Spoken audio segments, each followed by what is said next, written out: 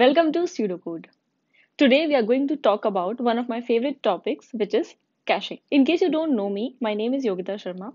I work as a software engineer, and you can get to know more about me from the links down below. First of all, I want to thank all of you for all the love and support and uh, helping me to reach uh, 1000 within less than a month. I really couldn't be more grateful and thankful to all of you and I wanted to give you a little more about my background uh, in this video. But if you want to go to the content directly, I have included the timestamp. You can jump directly to the caching details, or you can just stay here with me and get to know more about me. So I work as a software engineer for Careem in Dubai, and I moved here recently in the month of February. Also, I am pursuing masters from Georgia Tech uh, in a program called OMSCS, which is a part-time masters I started in 2018 and I expect to finish it in next year, I guess. If you want to know anything uh, more other than this about my background, please comment down below. Now, the most important thing why I started this channel. I wanted to help software engineers all over the world to gain skills which are not a part of academics. System design or preparation of interviews or just excelling as a software engineer in a job is not an easy thing to do and also uh, there are not many resources or organized resources out there to do the same. And hence i want to help you not just learn system design but also how to excel as a software engineer after you get your dream job. This is what the channel is uh, going about to be. Uh, this is the kind of content that we are going to cover. But if you need anything else if you need uh, any more information about my master's degree or anything uh, in software engineering like soft skills or what are the challenges please feel free to comment down below about the topics that you're more interested in. Also we have a community tab now so i want to engage with you guys uh, a lot more. So feel free to comment there. Feel free to uh, let me know your thoughts about anything related to software engineering that you want to know. Now without getting further delayed let's start with caching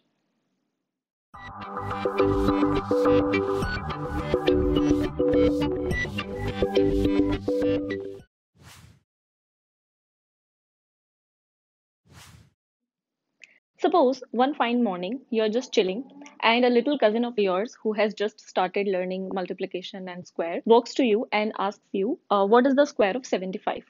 It will take you a few seconds to calculate the answer and reply. But suppose in the evening you get asked the same question again. In the evening, you will not calculate the answer. You will just directly say 5625. Why? Because the answer that you calculated in the morning is now cached in the working memory of your brain. That is the simple concept of caching. In computing world also, cache is defined as a hardware or a software component which helps in serving the data which is either frequently requested or it is expensive to compute on so cache stores the computed response and helps in saving the expensive operations. Let's see through examples what I mean by that. Suppose you have a client which requests for images from a server. The server has to take the request, fetch the images from the disk and then respond. Now this takes some time if the same client or multiple other clients are requesting for the same image, fetching the image every time from the disk is an expensive operation. So what can be done here? Either you cache or save a copy of image in the server side.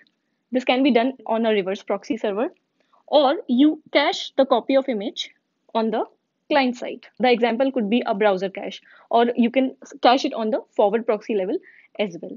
This way, you're saving the copy of image in cache and you don't have to make request to uh, disk and fetch the image from the disk again and again. So basically, a data which is frequently requested, a copy of that data is kept in a cache. Another example is that as a client, you request for some data. The server takes your request, fetches the data from DB, performs some computation here, and returns the response. Now, if the same request comes again after some time, again the server will fetch the data from DB, perform some computation and return a response. So this computation and fetching data from DB, this is redundant here. You can get rid of this operation by just saving the request and response in a cache.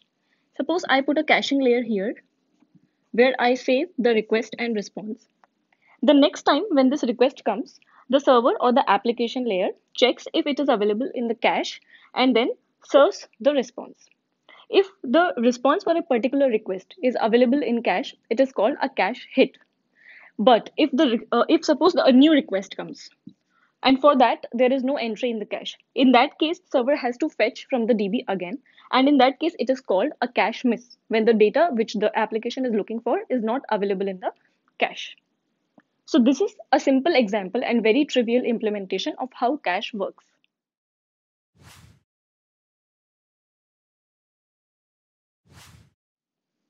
One important thing to note here is the data that is kept in cache is not there forever. It is volatile. That means that data in some way has to be invalidated or removed from the cache. So now let's understand what is cache invalidation and why it is needed. Cache invalidation is needed because the data that you're keeping in the cache is going to change at some point of time. And if that data is changing, you have to update the cache as well. And the process of updating the cache, that is removing the old value from the cache or updating it, it with the new value, is called cache invalidation. Let's understand this through an example. Suppose you have a client which shows a total number of active users on your website, and there is a function or a request get daily active users. This function goes to backend application and it fetches the daily active users from the database or the or count the active users and returns the response. Let's say the response is 5k. Okay, and now you have also saved this in the cache. Now suppose this request comes again after 10 minutes, you will supply the data from the cache which is 5k and that is okay even though the number of users would have increased in that time. But what if this request comes after 2 hours or 3 hours? Then you cannot serve the response as 5k because by that time the number of users have increased a lot. So you have to remove this entry from the cache and fill up the fresh data from the DB, which is also known as warming up the cache or filling the cache with the new data or the fresh data. So how do we decide when we have to remove this entry or when we have to invalidate this entry? There are multiple methods to do that. One is keeping an expiry time, which is called cache expiry, and it is done through a method called TTL, which is time to live. So in that case, against every entry, you mention a time, such as few minutes or few seconds or even few hours in some cases when this data will be expired. Suppose the TTL for this is 10 minutes. What does this mean? This means suppose request 1 comes at time t0 and the value is 5k so the value 5k will be returned.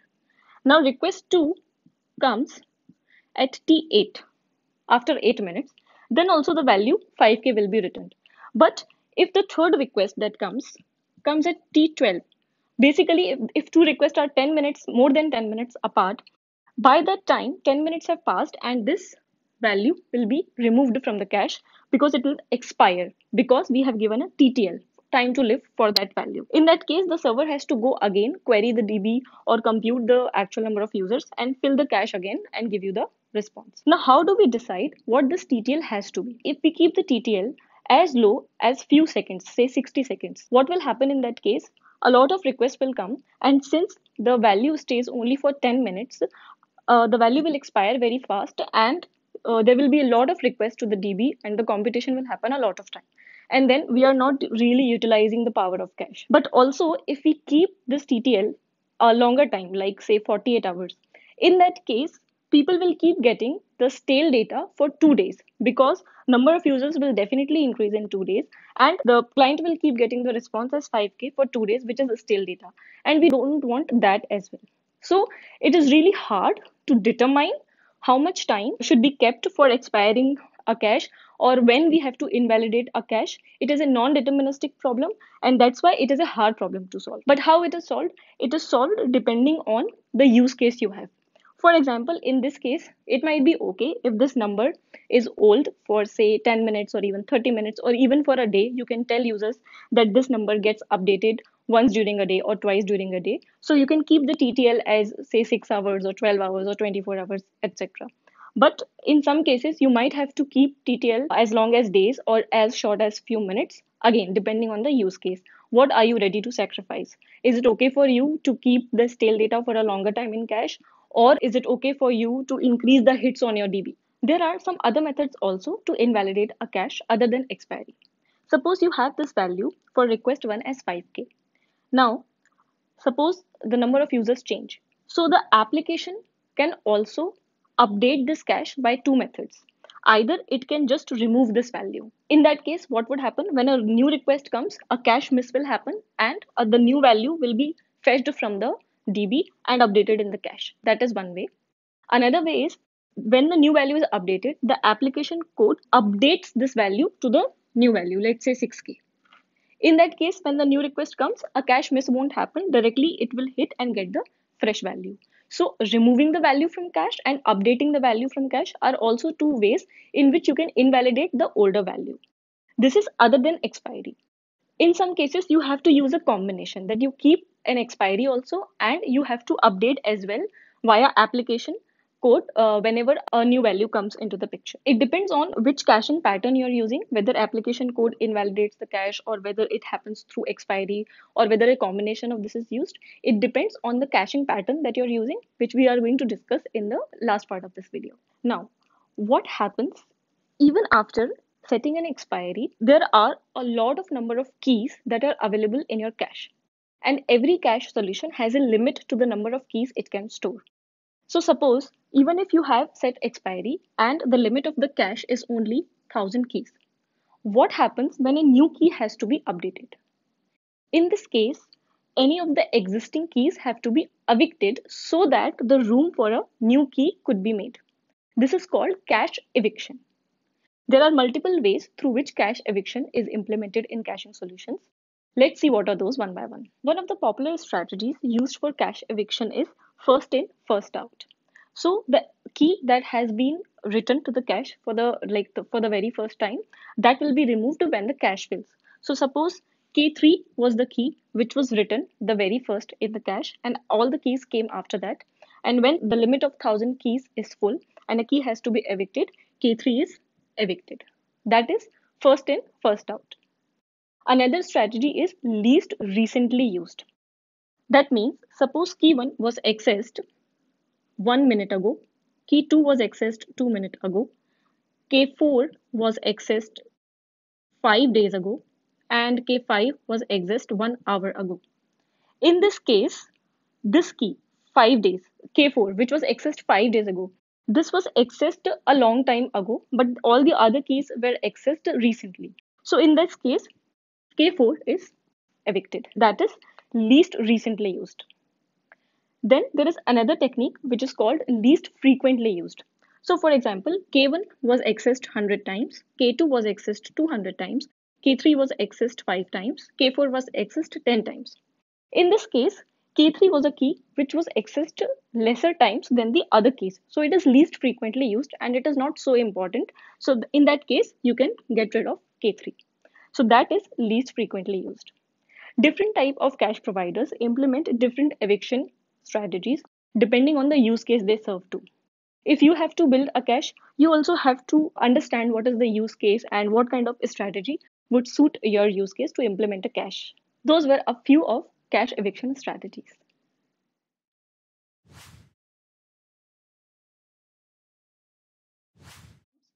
When it comes to building uh, real world systems, there are different cache patterns or strategies that are used in order to harness the power of cache.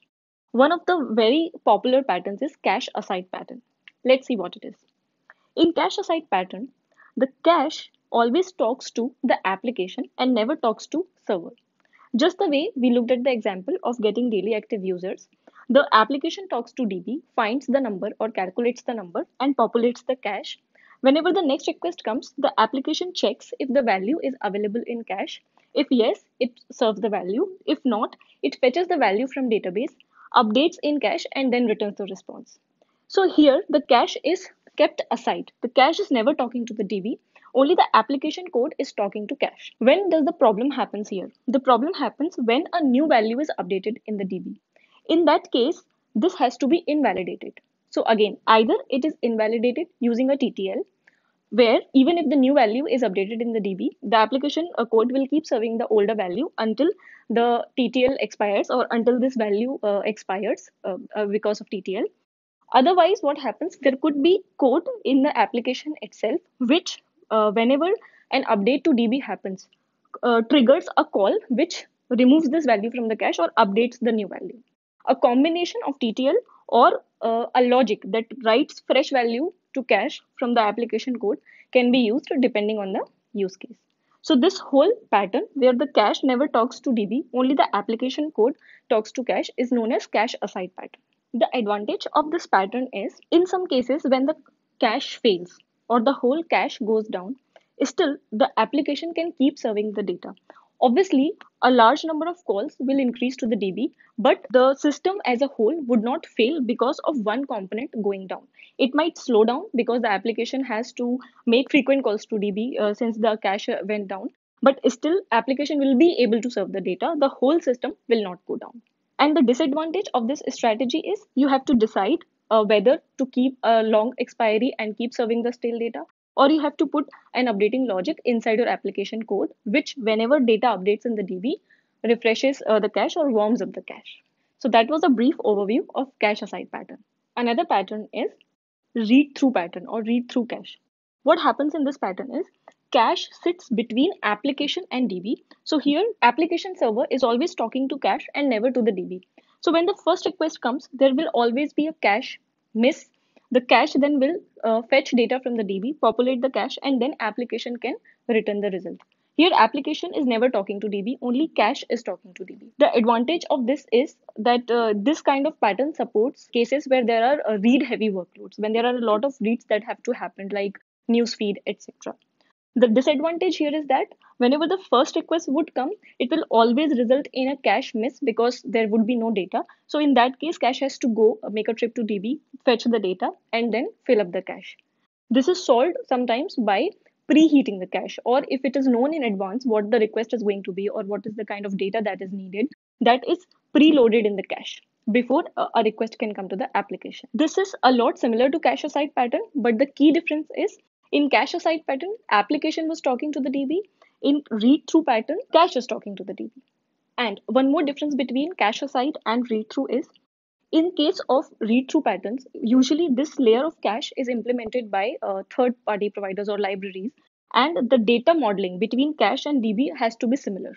But in case of cache aside pattern, where application is keeping the data in the cache, the modeling could be different. Whatever uh, data stays in DB could be modified into the response that client needs and can be saved into the cache in case of cache aside pattern. Now, what happens when a new uh, data has to be written into the DB? Then there is write through pattern. So basically, there is not much difference between read through and write through pattern. And in practical applications, both these patterns are used together. Their cache is kept between application and DB. So application will read from the cache and application will write to the cache. And it is the responsibility of cache to update the data to the DB and fetch the data from DB. The only dis disadvantage of write through pattern is that there is an extra layer of latency because first the data will go from application to cache and then cache will write it to DB. Whereas in case of cache aside, application was directly writing to the DB. But again, this is the downside of read write through pattern, and uh, the upside in the cache aside is that you directly are able to write to DB. So both has their own sets of advantages and disadvantages. As we just saw, in case of write through strategy, there is a downside of writing data to cache and then to DB.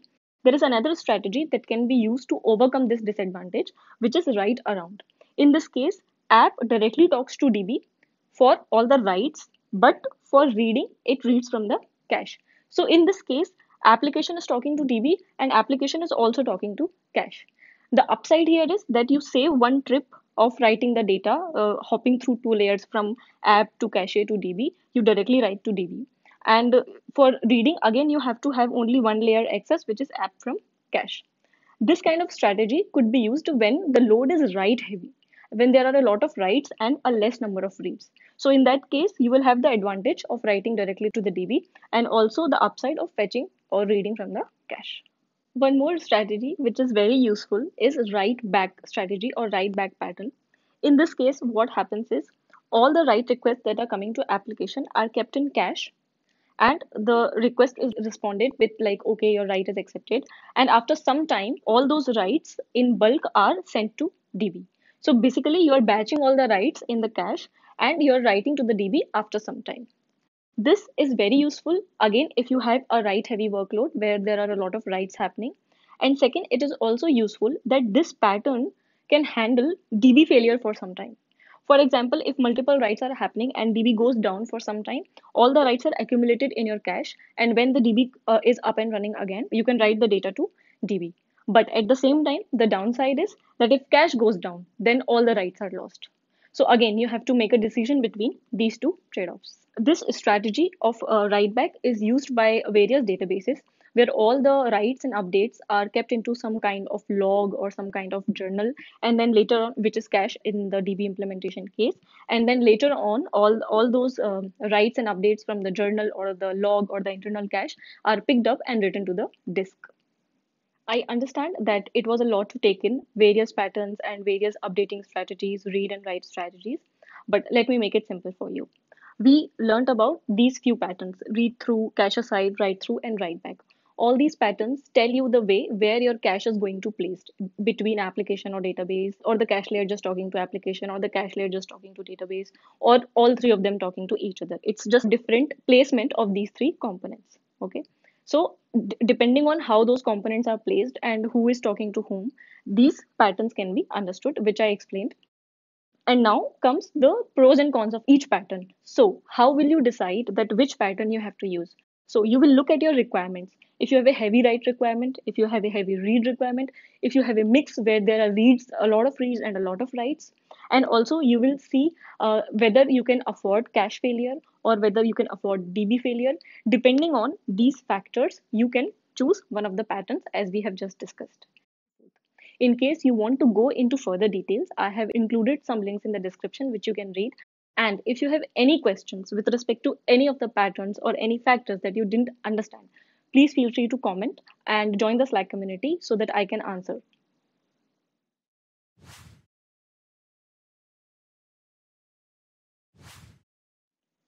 Last but not the least, where can you keep your cache? Caching can happen at browser level, proxy level, application level, outside application, cache aside pattern that we just discussed with the DB, and so on and so forth. Your cache, depending on requirements, can sit anywhere in some of these components or all of these components. Let me know what you liked about the video, what you did not like about the video, if you have any questions, any doubts, please feel free to ask in comments. And there are a lot of readings for different cache patterns that are included in the description. Please don't forget to check them out. Take care. See you in the next video.